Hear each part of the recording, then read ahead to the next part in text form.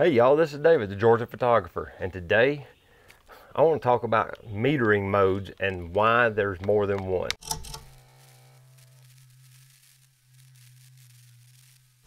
Camera metering seems to be one of those subjects that's like dark magic in a camera system. For whatever reason, people rarely understand what the deal is with metering and why there's more than one way to meter a photo. What I'm gonna do in this video is go through the metering modes that Nikon uses because I have Nikon cameras. All camera companies' metering systems are essentially the same. They just go by different names. And one of them might be unique to a particular model or brand or whatever. But there's three basic types of metering and I'm gonna go over those today with you. Metering modes can be found in your owner's manual. You know, that unreadable little book that comes with your camera? It's all in here. It explains how they work. I'm going to be referring to this Z6 owner's manual in this video for the different metering modes that the Z6 has. Just a reminder, the, the owner's manual is valuable, not for just starting campfires. The three basic metering modes on a Nikon camera are spot metering, center weighted metering, and matrix metering. Now, these three modes do similar things, but slightly different ways of getting to that end result to, before we dive, dive into those modes really deep though, what is metering? Well, metering is based off of one of these, or even one of these. I have a couple of them. These are Sekonics. Sekonics is like the name in the industry when it comes to light meters.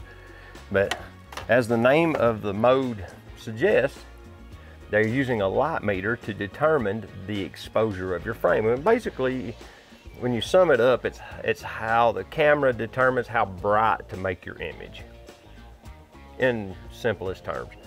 Back in the old days, we metered a photo with one of these. Okay, this is a light meter. This is where the word metering comes from. The light meter took basically a reading of the ambient light and you set the scaling based off your ISO. There's a little selector on here that I move back and forth. And in this little window, it says the ISO value. And right now I'm gonna set it to 800 ISO. They call it ASA, that's how old this meter is. Then you have, all this switch does is sets high load and low load, low load, high mode and low mode.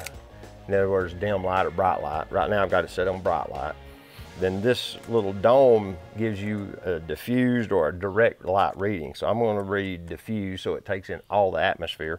And I would hold it right here in front of the subject and you would push the read button and let off. And it's going to actually grab the data. It's got a little thing that locks the needle in place. and right now it's locked at between 10 and 11 on this reference scale. So you look down here on the bottom of the meter, there's a little reference scale. You dial it, around till the arrow points towards what the meter is actually saying. And then up here on this upper scale, it tells you your f-stop and your shutter speed to achieve that exposure for a properly exposed frame. And right now it's saying if I was going to use f4, it would be around 1 800th of a second. It shows it right here on this little scale. And that's how they did it in the old days to make sure they didn't waste film trying to figure out how bright the sun was or whatever. They just took a light reading, set the camera to these values and took their photos and they came out. But they've taken this machine and they've put it basically inside of this camera. So you no longer really need to carry one of these around with you. Unless you're shooting film, then it's, it's a good idea to have one. I have them basically for nostalgia and I have this camera. This is a functioning Brownie. It works. The handle broke on me. It wasn't broke when I first bought it, but this little box camera takes fairly good photos. I cleaned all the lenses on it and got it, took it apart and cleaned it all up real good. And the viewfinders are bright and clear and the, the taking lens is nice and clean. But I have to use one of these with this so that I don't over or underexpose the photos.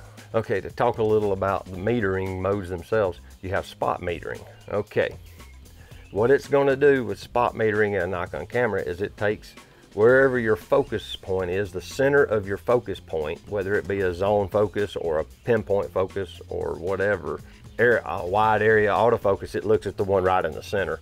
But with spot metering, it takes a very specific section of the image and, and adjusts the exposure so that that one spot of the image is correctly exposed and it ignores the rest of the image. That's really good if you're wanting to get a specific subject exposed properly and you just don't care if it blows the sky out or if the shadows are pitch black. As long as that one spot's exposed correctly, it's great for that. And a lot of people use spot metering because it allows them artistic control of the frame.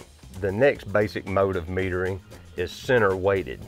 What center weighted does is it takes the center of the frame, it's about the internal like 17% or something. The greatest weight of an area in the center of the frame, the size can be chosen using custom setting B3. This is the classic meter for portraits and is also recommended when using filters with an exposure factor over 1x. So center weighted basically applies a larger percentage to the center of the frame than the perimeter and basically gives you the ability to control the exposure in the center of the frame. Okay, the next one is called matrix in Nikon terminology.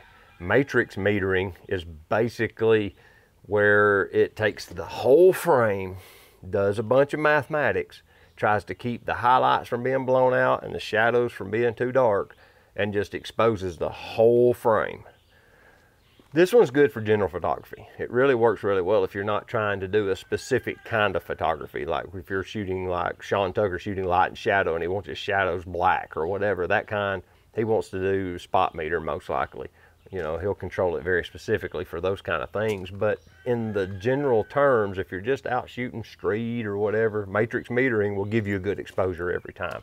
And Nikon's matrix metering, I don't know what Canon calls it, but it's very similar it works really well. It's a very good system and it and it, it's what I use most of the time.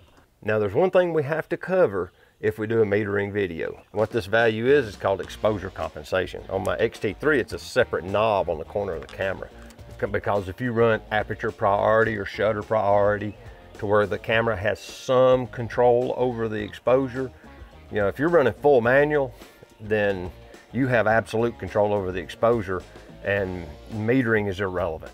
Metering is irrelevant and exposure comp's irrelevant with full manual because you're literally just setting how bright or how dark by shutter speed, ISO, and um, aperture yourself. Pushing manual out of the way and you use any of the automated modes, exposure compensation gives you some control over the, the exposure without having to dive into menus and without having to go in and change metering modes and say on the fly I want the image to be a little brighter and I'm running matrix metering and it's reading the sky and it's saying hey this image is too bright and it darkens it down to where the sidewalk is black. But I know that I can just reach up there and hit that button and spin that thumb wheel and it'll add two stops of exposure compensation brightening the image up. Suddenly my street's back in and the sky's blown out but I don't care that's what that button gives you. It's a quick adjustment. That's what exposure compensation is and it works really well. If you don't use it, you should look into it, especially if you like run, like I like to run aperture priority a lot.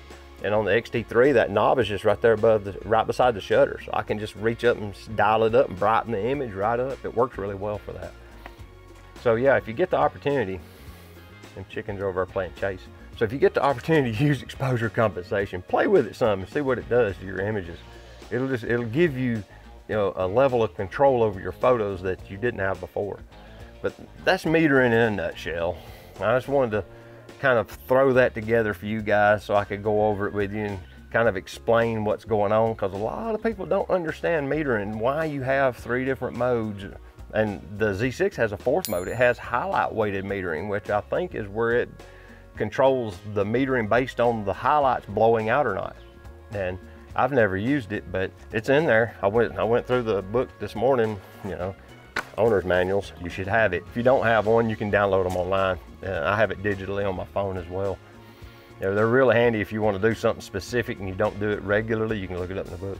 That was the point of this whole video, was to go over the metering modes in a camera and kind of explain them in layman's terms so that it made sense. You know, spot metering is just one spot of the image. Wherever you set that focus point typically is where it meters. And then you got center weighted where the center will be correctly exposed and the outside parameters will be dimmer or darker depending on how the center is. And then you got matrix where it tries to balance the whole frame and get a complete frame exposed correctly. And then exposure compensation where you can brighten and darken that whole frame based off of the automatic measurements that the camera is working on. And that's it. So if you've got questions about it or if you've got comments or if I've overlooked something you know, that's pretty grievous that needs to be brought up, put it down in the comments. We'll talk about it. And if you like my video, I appreciate that thumbs up. Of course, if you like the channel as a whole, there's a subscribe button right over there. You hit that subscribe button and you'll, you know, and the notification bell will tell you when I can drop a video and all that sort of thing. They normally come out on Wednesdays and Saturdays, but occasionally I'll throw an extra one in there for fun. But until next time, this is David, the Georgia photographer, saying, get your camera out. Go take a picture with it, all right? We'll see you later. Bye-bye.